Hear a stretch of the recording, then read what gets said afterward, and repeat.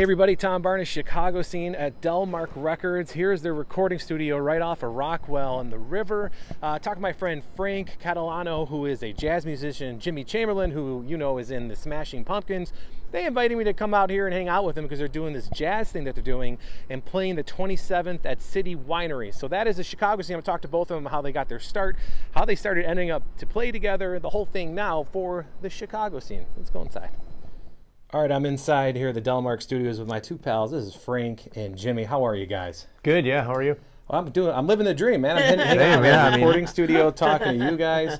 Um, so first, why don't you just introduce yourselves, Frank? Why don't you uh, introduce yourself and you can introduce your uh, friend uh, Jimmy there? Okay, thanks, Tom. Yeah. Well, this is early for us to be playing and stuff, uh, but that's cool. Uh, my name is Frank Catalano. We're here at Delmark, where I did my first few albums in the 1990s, and Delmark uh, has always been uh, really awesome uh, as a label and as a studio, and uh, they're great. And uh, my bro Jimmy Chamberlin here, legendary drummer, Smashing Pumpkins drummer. We've got many albums together and uh, are looking forward to playing City Winery on the 27th of December and a bunch of cool stuff. So Jimmy's got better things to say probably than me though. Well, how'd you get- bet on it? yeah, Jimmy, how'd you guys meet? I mean, because you guys have both been playing music in, in Chicago and around the world and country for a while. How'd you guys meet?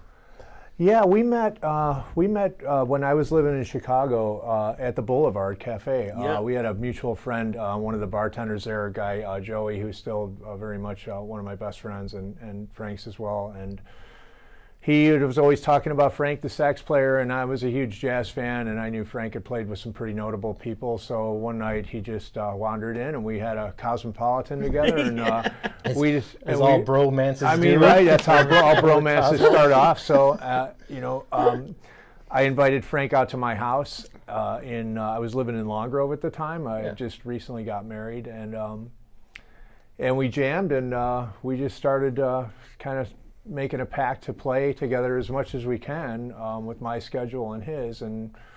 That's what we've been doing for, geez, I'm 22 years. Yeah. So you guys have been playing together for 22 years. I mean, on and off. I on. mean, not not not ever really in any consistent um, in any consistent on a consistent basis. But like I said, whenever my schedule allows, like Frank will hit me up with some text messages in January and say, "Hey, here's 20 dates. Which one of these can you do?"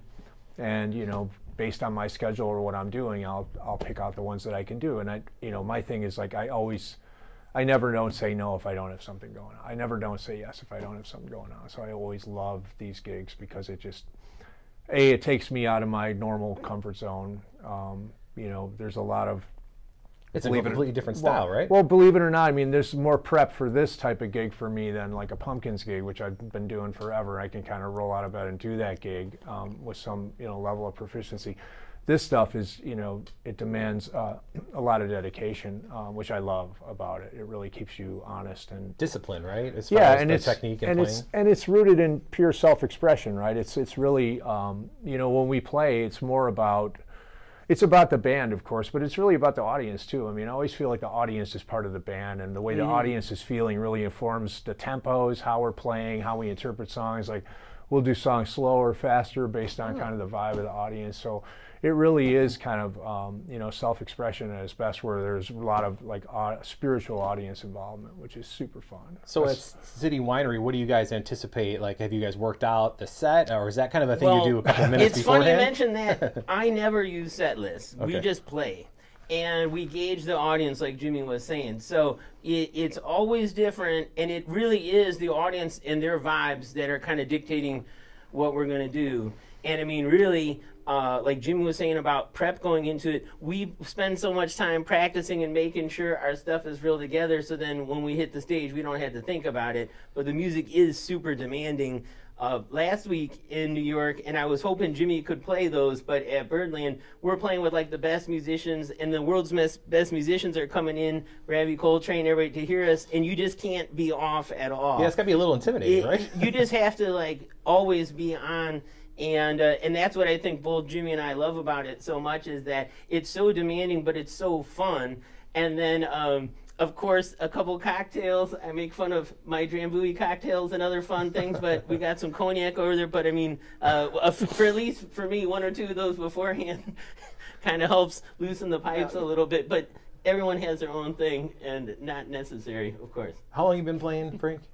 Um, I'm 44, and I started playing when I was six. Six years So 38 years, I guess. 38 years. How'd you get started to, uh, to play and to eventually get to where you are now? Well, our neighbor had an alto saxophone for sale at her garage sale, Uh-huh. and my mom wouldn't let me buy it and didn't want to spend the money for it, and I didn't have any money. So she's like, "Okay, you can borrow it because it didn't sell, but just don't mess it up." And Oh, I sure. took so good care of it, and I did practice it every day. And then she needed it back like six, seven months later, something like that. And then my mom started renting me one. And then just through a book with the fingering charts and stuff, I started. And then like fifth grade band, I did all that and whatnot. But by the time I was ten or eleven, I was sitting with Von Freeman at Andy's Jazz Club Oh, yeah. and other places. And that's where I first met Bob Koester, that used to own Delmark, and he signed me a few years later. But yeah, it was just Small world, pretty huh? natural. Just you know, learn how to play, go out there, sit in with people. Stuff happens. All is good for the most part. So when we were uh, off camera before things got started, Jimmy, you were just talking about uh, playing you're from Joliet, right? I am, yeah. And you mentioned the fact that you were playing in like this blues jazz band with ironworkers, which is just so not what I was expecting. Yeah, to well, there, so- yeah, there was a band called the Mojo Blues Band Mm-hmm. in Joliet that was, um, you know, it was a it was a great band, and they had been around for a long time. And when they when they were looking for a drummer, my sister Laura said, "Hey, you should go audition." And I was only 15 at the time, and these guys were they were old to me, you know, they were 25 years old at the time, and they worked, they had kids and wives and stuff, Sure. and I loved the music. I mean, I'd always been a big blues fan and, and a jazz fan. My dad played clarinet, so I grew up with a lot of big bands, stuff like that. So I went and uh, thinking like nothing of it. I'm just going to go and play. And they were like, "Yeah, the gig's yours if you if you want it." And we ended up playing. I ended up playing with them for about uh, two years off and on. And I actually went back and played guitar with the same band uh, later after I'd learned uh, picked up the guitar and kind of learned how to play. But we played a lot of the South Side Chicago blues clubs like Muddy Waters, Fitzgerald's. We played, Yeah. you know, uh, with Jimmy Johnson. I was saying who had just been recording here. In fact, I got to sit in with him when I was about 15, which was super special. Um, and you know, by uh, um, because of that gig, I mean, I was exposed to a lot of the great blues players that were playing. I mean, Eddie Clearwater was big back then, and Junior and Buddy Guy would play Kingston Mines and blues, and I would go see those guys a lot. And those are still like the Hoodoo Man Blues. Junior Wells is still one of my all-time favorite top five records. I mean, really like such a great. It's such an overlooked part of Chicago Yeah, history, right? I mean, it's just it's just. Um, you know, when I was a kid, we'd go to Chicago Fest and you could see Muddy Waters and Howlin' Wolf and Buddy Rich Big Band, and it was all about the music. And, and, and we seem to have lost a bit of that in, uh, in, the, in the arts environment of the city, which is kind of sad because, man, when I was a kid growing up in the city, it was like, it wasn't a huge it wasn't a huge leap to, to look around and say oh I can make a living doing this right I mean you could Right, you could see these guys were doing It like- every day right they'd get in their cars they'd go play and that's what I ended up doing. I left high school at, at 15 or 16 and ended up uh, getting the gig with JP and the Cats which was a, a big show variety band that was doing like 30 gigs a month and and from there I played with that band for long enough to where it bridged the gap to me joining the Pumpkins so Unbelievable. I've always been, you know, a Chicago musician. In fact, before I played with the Mojo guys, I was playing uh, polkas with Eddie Korosa on the south side, right? So Baby Doll Polka Polka and the Club, right? So on the south side. I mean, yeah. So it, you know, it was a lot of there was a lot of stuff to do and a lot of fun stuff to do and a really wide variety of stuff to do as I, well. I feel like y- you, to commercialize a little bit, but the Blues Brothers kind of captured that vibe, a li- at least from the late 70s standpoint, and it has changed a lot. And I don't know for what reason, one or another, but um, I still imagine, though, playing in Chicago for the both of you has got to be something of a treat just from being all over the world. What's your favorite thing about just the Chicago audience, either in this format or any format, really, when you're playing live in front of them? Well, just you know, it's like I did a thing for a, a travel vlog the other day, and and he was asking me about Chicago, and I said, look, every person in this city, at least at least maybe up to to to a year ago or so, or maybe maybe they still do. Um, I don't live in the city anymore, so it's harder for me to gauge, but. They're part of a story, right? Whether you were born, whether you when you came to the city 200 years or you know 150 years ago, or just now, just to be here, you're part of a narrative. And that's like when you're playing in Green Mill or Andy's, you feel like you're part of that story, right? You're just adding more chapters and more verses Yeah, more pages, into the yeah, song for that is sure. Chicago. So it's um, it's fun, and you can see you can see that in the faces of the people that are enjoying the music as well. Frank?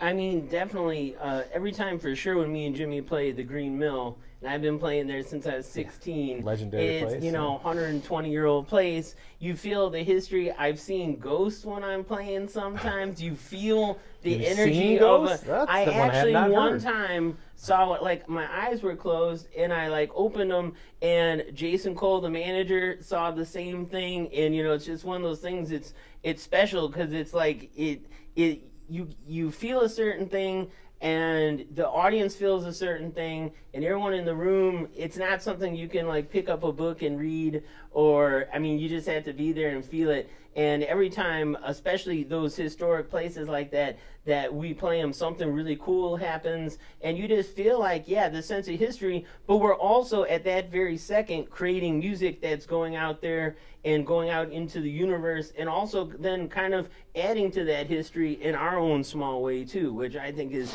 so special. It's a real uh, reciprocating thing that you just you know practicing at home doesn't do it Right. you know it's being out there Especially and doing it. post pandemic, right? Totally. Getting out there, playing, I, which I imagine is what you guys we're so love. stoked to be back you know hitting it hard after you know uh, a year of plus of not being able to be out there uh, you know in front of live people you can only do so many at home concerts and stuff before you're going like wow i really want to do a cheers with somebody Yeah. i really want to hug somebody Sure. i want to feel the good vibes so uh, yeah So for people getting ready for the show on the 27th, what time does the show start and where can people get tickets? City Winery is an awesome, awesome place on Randolph. Uh, tickets are on their website, uh, citywinery.com. Uh, I know a bunch have sold, but there's still some left, so that'd be great. And um, I, I think the show starts at 8. I think doors are at 6.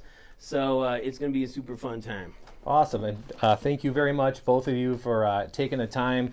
Um, because this is a uh, little uh, media segment, do you guys mind just playing me out real quick, just a Let's- little, just for uh, grins, Let's do it. a whole, just a little 20 second thing if you can, and then I'm gonna get out of your hair. Sure.